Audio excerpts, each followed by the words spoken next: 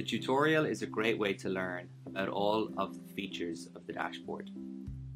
To get started, simply click on the tutorial button in the top left of the screen. A guide will open showing you on a step-by-step -step basis how to use the various features. To move through the guide, click on the next button. To repeat a step, simply click the back button. Or to finish and start using the dashboard, press skip.